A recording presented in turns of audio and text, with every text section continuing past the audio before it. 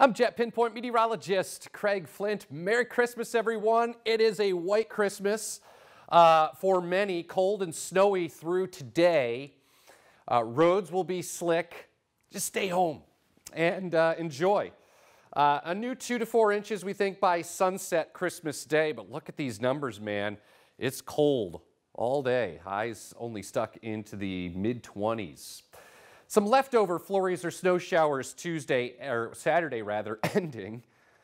Uh, and then some partial clearing for the afternoon, but cold. Highs are only in the mid 20s.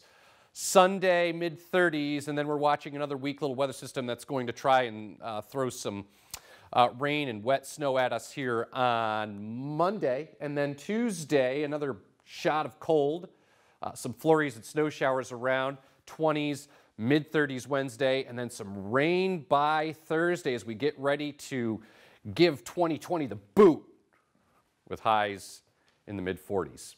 That's your latest forecast. Thanks for logging on to yourerie.com. Have a Merry Christmas.